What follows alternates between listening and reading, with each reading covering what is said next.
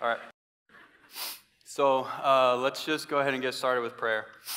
Uh, our Father, we thank you for um, knowing us, loving us, uh, giving us your word so that we might know you.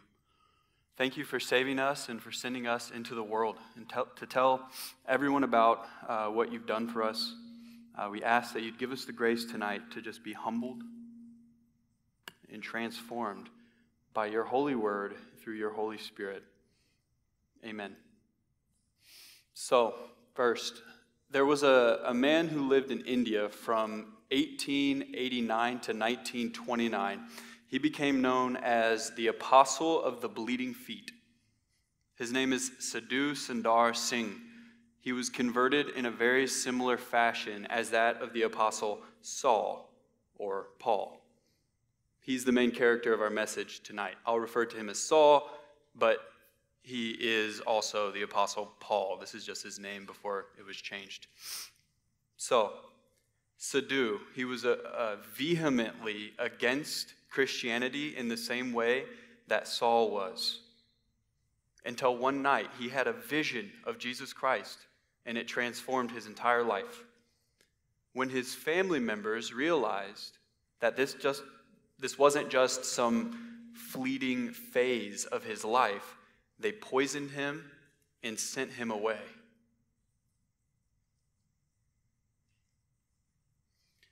He landed on the front doorstep of a pastor, and the pastor brought the Christian pastor brought him into his house, called a doctor, and when the doctor got there, he saw him for a little bit, but then pretty much right away realized that he was not going to recover and that Sadhu would soon just die. And as he laid there, about to die very soon, he suddenly was struck with the belief that God had not called him out of darkness just to die. He suddenly was struck with the belief that God called him out of darkness for a purpose, and that the reason that God called him out of darkness was to bear witness about Jesus.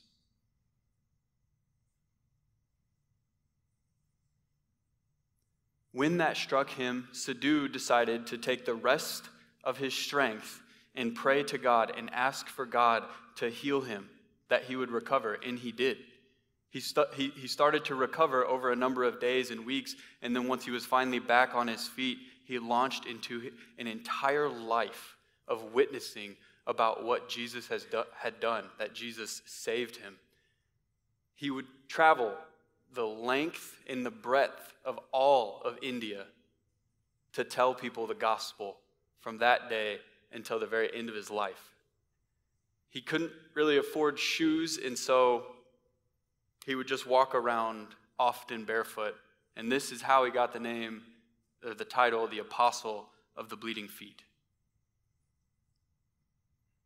As he grew older and he was about to die, Sadhu's realization was, at, on his deathbed, essentially, was that he really was saved to tell others the gospel. It just struck him. I really was saved by God to tell others the gospel because that's what he that's what he did. And it's, it's my hope that tonight each and every one of us would walk away with the same realization that we have been saved to tell others the gospel. And that's why I've entitled the message Saved and Sent. And we're going to look at this under three headings Saul's commission, Saul's circumstance, and how to apply this text. First, Saul's commission. Saul's commission is to proclaim the gospel of Jesus. If you remember back to last week where we looked at Saul on the road to Damascus, he was blinded by a light and God spoke to him. Saul was converted and then led to a stranger's house in Damascus. The Lord then said, This about Saul, this is my chosen instrument to take my name to the Gentiles, kings, and Israelites. I will show him how much he must suffer for my name. And then we pick up this week in Acts chapter 9, verse 19. If you want to flip open your Bible, says, Saul was with the disciples in Damascus for some time. Immediately, he began proclaiming Jesus in the synagogues. He is the Son of God. Saul immediately began to proclaim that Jesus is the Son of God. What does that actually mean when you say Jesus is the Son of God? What would the audience have been hearing when Saul was proclaiming to them, Jesus is the Son of God? What would they have been understanding? Well, Jesus being the Son of God is two things, at least. It's two things. It's both a title of Jesus and it's a trait. First, the Son of God as a title. The title Son of God was used in the Old Testament to primarily refer to three things the people of Israel, the anointed king of Israel, and the future king of Israel that God promised would come from the line of David and save the people of Israel. When Saul proclaims Jesus as the Son of God, he, what he's declaring to the people of Israel is this He's saying that the man that you just crucified is God's promised and anointed king and savior over Israel. That's what they would have been hearing. It was an extremely offensive claim. But like I said, it's not just a title. The Son of God is also a trait, it's a character trait. What it indicates is that there's something unique about Jesus. So when we say Jesus is the Son of God, it's about his character trait, his uniqueness, what sets him apart from each and every one of us. Why is he different than us? It's because he is the Son of God. He has a character trait that's different. It speaks of his relationship with God the Father, a type of relationship with God the Father that none of us have. It's a type of fellowship that Jesus has that none of us have. He is truly the one and only Son of God. And Jesus, being the one and only true Son of God, he is, he is only, he is God's only true Son of God for so many reasons. But we're going to look at two. First, according to God's perfect design for human life, a son's a son would perfectly obey their father. According to God's perfect design, a son would perfectly obey their father. The father would have complete authority over their son's life. And only in Jesus is this the case. Only in Jesus' life did God our Father have perfect authority over his child. The reason we know that God had perfect authority over Jesus is because Jesus perfectly obeyed God, something that none of us have done. Just by show of hands, who here has perfectly obeyed God? In every thought, word, and deed. All right. And so, what that means is that you need Jesus. That's the point. You, you need Jesus. You need the perfect obedience of Jesus when you stand before God in judgment. Because if you stand before God in judgment, you are not his son, because he has not had complete authority over your life. You have not obeyed him. But Jesus did. You need Jesus' perfect obedience. And so how do you how do you gain Jesus' perfect obedience? So that when you stand before God in judgment, you don't stand in your own disobedience, but you have Jesus' perfect obedience. It's called faith. You trust in faith, you trust in Jesus' obedience. This is how it's credited to you. And, and this is why God looks at Jesus when Jesus was being baptized back when he lived on earth, and he said, This is my beloved Son, in whom I am well pleased. The second reason Jesus is God's only true Son is because, according to God's perfect design, a child should be in the image of their parents. I don't necessarily mean their exact physical image, but just imagine this illustration. It's super rated R, so hide your kids, hide your wives, but imagine imagine you get a spouse. That's not the rated R part. Um, the story keeps going. But imagine somehow, by the grace of God, you get a spouse. I'm just roasting everyone. I'm joking. But imagine you, ha- you get a spouse, and you guys um, are gonna about to have a baby, and so you guys go into the emer- uh, operating room, emergency room. I mean, what, where do people have babies? I, you call an ambulance? like, I, I'm sorry. I didn't think about this, but you go to wherever the people have the babies.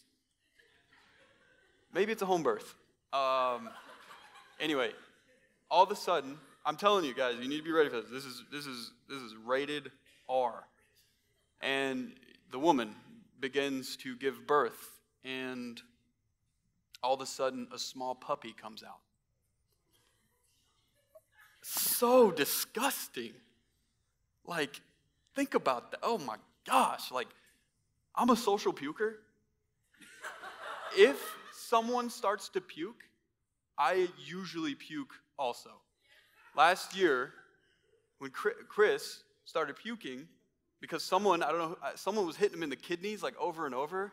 Grandview Hangouts, they're just different, guys, so just, it wasn't personal. And uh, someone was just like destroying him, like hitting him right in the kidneys. And he's like coughing and I think bleeding, and then all of a sudden he started puking, and then I'm, i just I was queasy, and so I just lost it too, and I, I started puking. Um, but that's how I think that's what everyone in the doctor's office or the e room or wh- wherever people have babies, that is what everyone would do. They would just immediately start vomiting. Some might even just pass away. I would die. I think I would just die if I saw a puppy come out. I'd be like, what? And just die, especially if it was supposed to be my beautiful child and it's just a puppy. It would, it would be absolutely horrifying, traumatizing, and you would never be the same. You're so, and, and why? It's because it's because he's not in your image. And when God looks at your life, you do not match his image. You are not cut from the same stone. You are not his kind. He is divine, and we are evil. You do not reflect his image. When God looks down on humanity, each and every one of you are a rated R movie. But, but Jesus is in God's perfect image. Jesus is acceptable. Jesus is pleasing to his Father, and you are not. Hebrews 1 1 through 3. Long ago, God spoke to the ancestors, the prophets, at different times and in different ways. These days, in these last days, he has spoken to us by his Son. God has appointed him heir over all things and made the universe through him. The Son is the radiance of God's glory and the exact expression of his nature, sustaining all things by his powerful word. So, this is what it means that Jesus is the Son of God. He perfectly reveals God's character, he perfectly reflects God's image. He is the Son of God, He is the King that was promised by God to the nation of Israel to save them, that would come in the line of David. And we know these things to be true. This is the truth. This is the ultimate truth and the only truth. There is a God, and He sent us His Son to die for your sins in your place. And you and me and we all need Jesus Christ as our Savior. And so, why is it important I gave it away. But why is it important that we proclaim this message? Why is it important that Saul proclaims this message? He knows these truths. He receives these truths. He believes these truths. He lives them out and he proclaims them. Well, if Jesus is the one and only true Son, then Jesus is the only one who belongs in his family. He's the only one who belongs in the presence of God for eternity. Jesus' sonship to God is what makes him even capable to live in the presence of a holy God. Just take a moment. Just we're going to take a moment. I want you to consider the glory and the power and the majesty and the greatness and the purity and the radiant perfection of God. Think, think about the reality. You guys know this is my favorite thing. Just think about we're on a tiny little dust particle flying through space in a solar system. And if you think about it, as far as your eye can see, which is a lot of stars, if you could like group all of that together and you think about one tiny little drop in the ocean, who here has seen the ocean? Okay. I the first time I saw the ocean, I was absolutely blown away with how big it was. I I had I, I went on a cruise and I was like, I can't see anything in any direction. This, this is insane. If you think about one little drop in the entire ocean in all its depths, that tiny little drop in the ocean is astronomically bigger than our entire universe. Or, no, I'm sorry, our entire galaxy in this universe. We, we are just stuffed away in this corner of the, this vast unfathomably large universe. And God created it by the word of his power. By one word, exist. And this is the God you think you can get into the presence of and you belong in the presence of? No. His glory and power and majesty demand your allegiance, demand your submission, your humility, and not your rejection.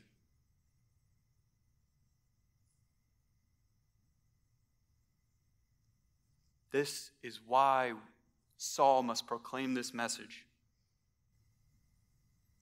It's so that others would be saved from that wrath, from that God. Charles Spurgeon said, If sinners be damned, at least they be damned. At least they leap to hell over our dead bodies and if they perish, let them perish with our arms wrapped about their knees, imploring them to stay. If hell will be filled, let it be filled with the teeth of our exertions, and let no one go unwarned or unprayed for. And I have a principle for you.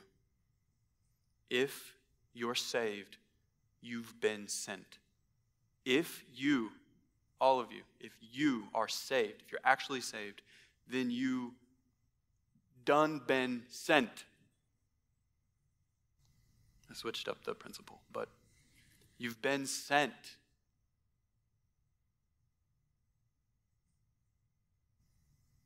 It's like that.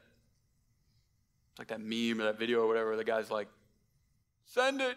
You know, it's like, it's like that's what God wants. That's what He says to your life. Like you've been saved. Send them.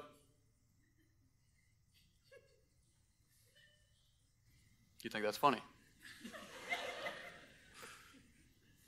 Okay. So why don't we? Why don't we proclaim the gospel like we should? Well, we don't proclaim the gospel like we should because we use our circumstances in life as excuses. We don't proclaim the gospel because we pretend that invalid reasons are valid. We make excuses. We say things like, we just don't have time. You know, I'm not, you know, I'm not a coward. I'm not. I just, I want to get it right. Or we aren't lazy, we are just overly productive with a really tight schedule.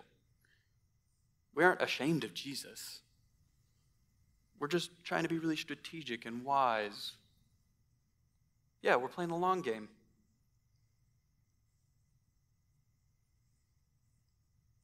Well, we don't know how long they have. And just, just to be clear, um, most of those reasons I gave are extremely valid realities. And um, they're responsibilities that God wants us to fulfill, and we are called to. Most of us are students, and we want we want to glorify God um, as a student, or we have jobs and we want to glorify God, or as in a sport, um, or whatever it may be that um, responsibilities that we have right now, and God expects us to glorify Him in those. So I'm not saying that those things are the devil or they're evil or something like that. Um, they are valid realities, but what I'm saying is that they are not valid excuses. They're just not valid excuses. So we don't, we don't want to be people who make excuses, do we? We want to be like Saul, who has opportunity to make excuses because of his circumstance, but he doesn't. And look at his circumstance. It's filled with suffering. It's filled with suffering.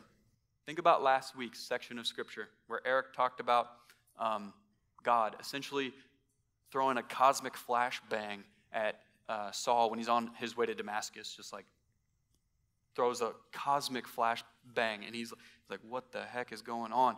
Saul falls on the ground and he hears a super scary, thundering voice coming from something that he can't even see. Saul, why are you persecuting me? Saul likely peed himself at this point.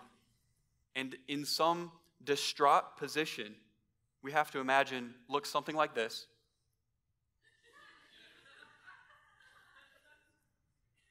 God says, or Saul says, Who are you, Lord? And Saul said, He said, Who are you, Lord? and he said, I am Jesus, the one you're persecuting. And if he hadn't peed, he certainly has now. Then Jesus says, But get up and go into the city, and you'll be told what you must do. Why does Jesus make it so mysterious? He doesn't tell him what he's about to put him through. He's like, Go to the city, then I'll tell you. it's like so mysterious. Who knows what Jesus has in store for Saul? Saul has no idea. Imagine, put, put yourself in Saul's shoes. Saul, you're the guy who just recently led the charge and consented to stoning Jesus Christ's friend Stephen, who is the first ever recorded Christian martyr. And Jesus is like, I got you, go into the city. It's like it, his circumstance isn't great. Now, I, I believe that uh, he understood that Jesus loved him uh, at that time, but I still think that it was probably really crazy circumstance and really confusing. He probably made that face. So, the Lord then left Saul there, blinded and traumatized and led by the hand into a town where he was unable to eat or drink for three days. And then I can't imagine, or, or I, I imagine that while he was just lying there, he started probably he started to probably realize that his whole life had just completely changed. Saul was away from his hometown in Tarsus. He was away from his new hometown in Jerusalem, where he had launched an extremely successful career underneath one of the greatest teachers in all of Jewish history, Gamaliel. He lost his job immediately. He had an involuntary career change. He lost all of his friends. He lost all of his influence. He is now a member of an extreme minority. He will almost certainly be disowned. He will be hunted. He has random people as his new best friends. And he is being judged by almost everyone around him as he shares the gospel of salvation with them, the message that can save them. He's trying to share, and everyone's just judging him. And they say, verse 21 All who heard him were astounded, said, Isn't this the man in Jerusalem who was causing havoc for those who called on his name and came here for the purpose of taking them as prisoners to the chief priest? These people are saying these things about Saul to provoke him. They want him to feel like he's a total freak, he's a weirdo. They want him to feel extremely ashamed for who he is and what he believes. They want him to feel like an outcast. They want to discredit him, they want to dismiss him, they want to influence others to not take him serious. It's pure evil. They're stripping Saul of his dignity and respect. This is Saul's circumstance. Another question Has Jesus completely changed your life? Have you lost anything for Christ? Have your people changed? Has what you say changed? If you do follow Christ, if you, if you actually choose to repent and believe in Jesus and follow Him, then you'll follow in His suffering.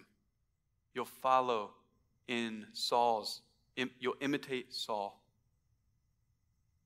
So, what do you do when you follow Christ and it causes you to lose your life? When you lose your comfort, you lose your friends, you lose your family, your reputation, your potential for influence or success, you lose your acceptance to uh, the greater culture at our campuses. When you lose popularity and you know that people are speaking evil against you. Well, look at what Saul did. Saul did not shrink back, he didn't grow weak, he wasn't silenced. Verse 22 says, But Saul grew stronger and kept confounding the Jews who lived in Damascus by proving that Jesus is the Messiah. So we don't cower before our campus, you confound them. You confound them. You reason with them. You speak with them. You ask questions. Just go for it. Trust in the Holy Spirit, the power of the Holy Spirit, and you just go for it. The Holy Spirit is who saves people, not you. You could walk up to someone and be like, and Jesus, through his Holy Spirit, could save them. He like used a rock or a donkey before, like just like he he wants you to intelligibly communicate the gospel. Yes, that's one of the main points of this whole message. But I'm just saying, the Holy Spirit is who saves people. So just go for it. Your Father in heaven just wants you as his child to just join him in what he's doing. So, speaking to the other students on your campus is not for people in ministry. It's not for your campus group leaders. It's not for the older students. It's not for the people who have a church background. It's for you. it's for Christians. So, when you're saved, you're sent. The second thing you do when you're suffering in the, for the name of Christ is you rejoice. You rejoice that you suffer. Because Matthew 5, Jesus says, You're blessed when you in I'm sorry, you're you are blessed when they insult you and persecute you and falsely say every kind of evil against you because of me. Be glad and rejoice, because your reward is great in heaven, for that is how they per- persecuted the prophets who were before you. So we, re- we rejoice. And keep this in mind too.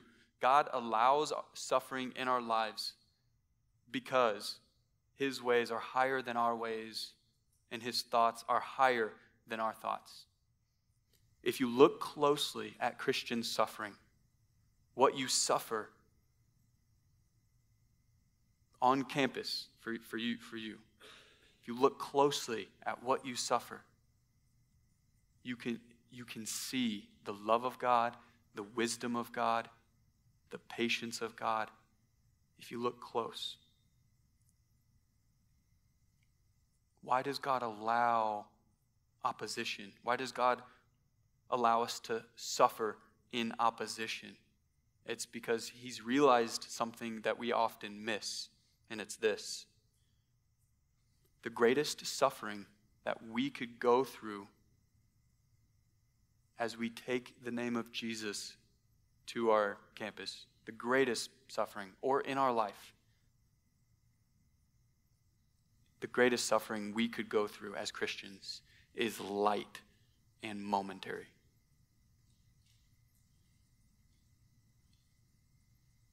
But if we don't spread the gospel to others, their suffering will be so much worse. Yes, your momentary suffering of reputation or whatever suffering we you know you, you go through um, is not ideal. But how much worse is the suffering that will fall on those who don't repent and trust in Jesus? How much worse will that be?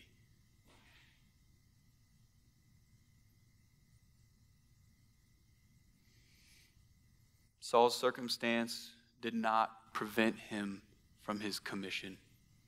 When you're converted, you're commissioned. When you're saved, you're sent.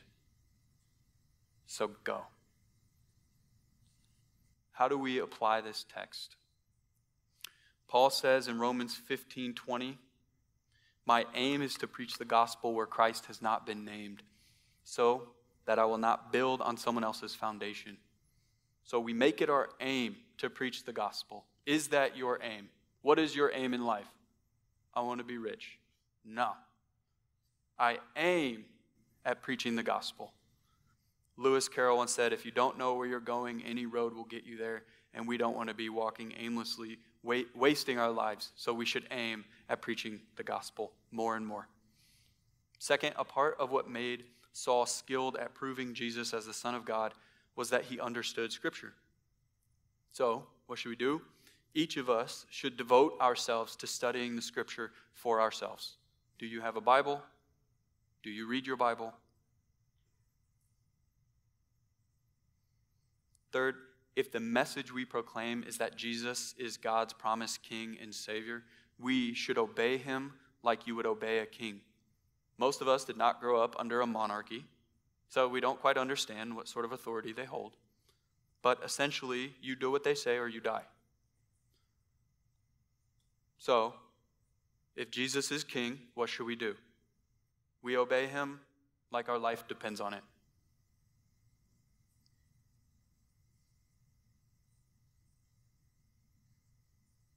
We, we should share the gospel.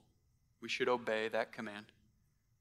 But this goes for all of Jesus' commands. We should treat all of Jesus' commands like he has the authority of a king. Example, when, when you feel, just one example for you Christians, when you feel like getting really impatient, getting angry, getting jealous, getting envious, being unkind,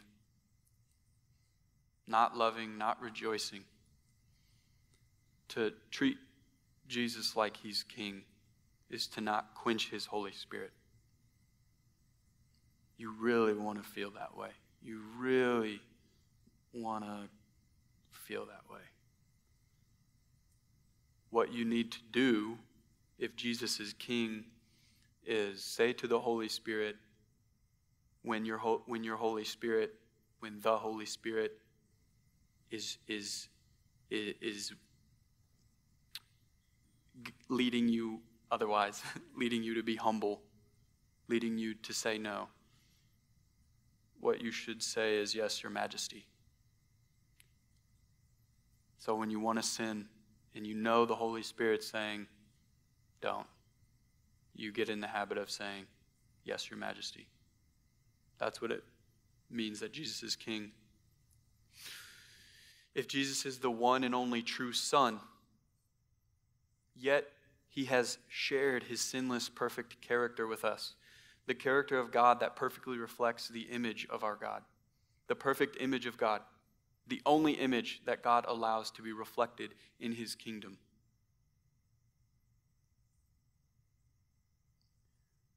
The image of God that we don't have by birth and by choice. But Jesus does, and he has shared it with us Jesus gives us credit for it he allows his perfection to count for us. So, we should be shocked. That's what we do. That's how we apply this text.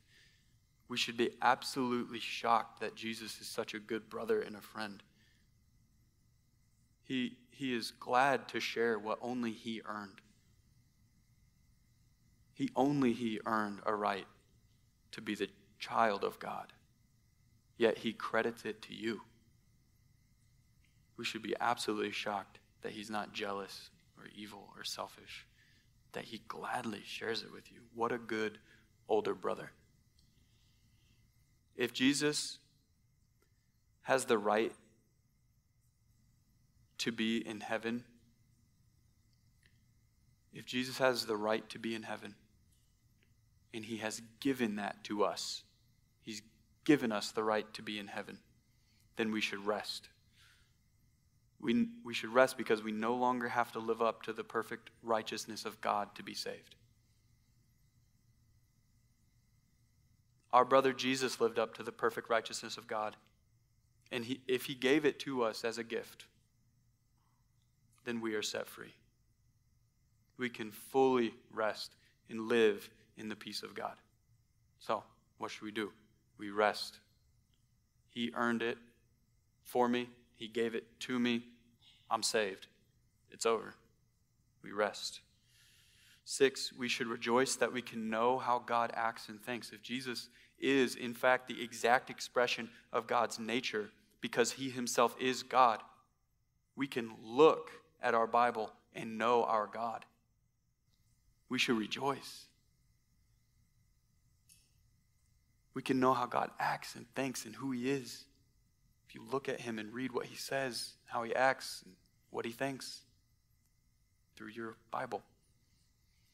Number seven, we should agree with God. We should agree that God's desire is for you to throw away your entire life.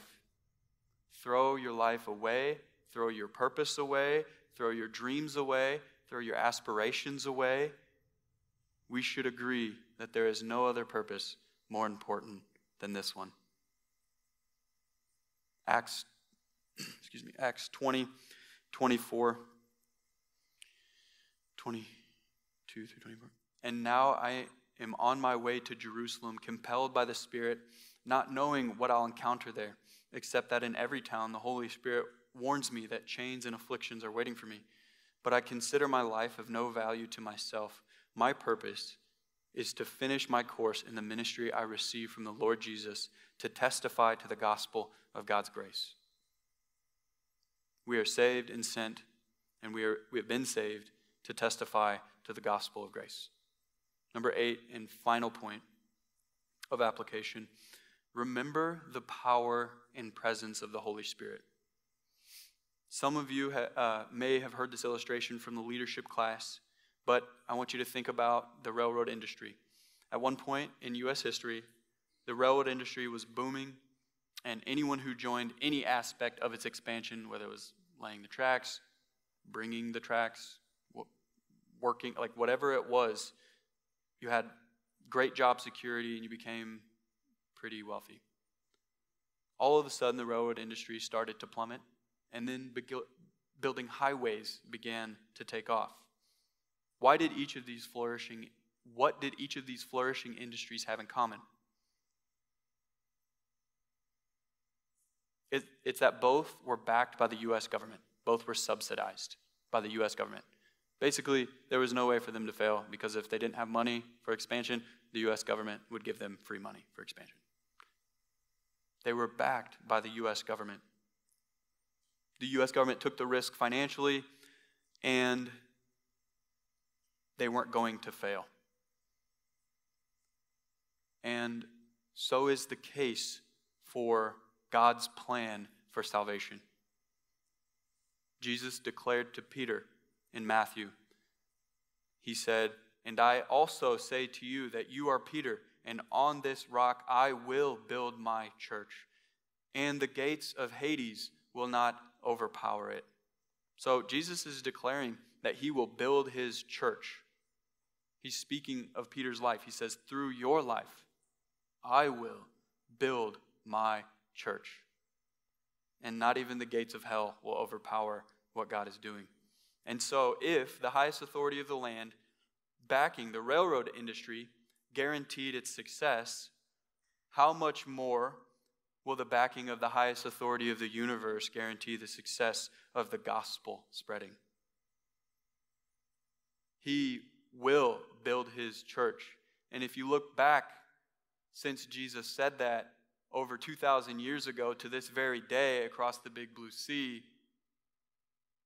he continues to prevail. The Holy Spirit will build his church. He will build his church. The Holy Spirit is on the move in our country, all over the world. The Holy Spirit is on the move on our campuses and in your heart. The question is not, will he succeed? The question is, will you join him?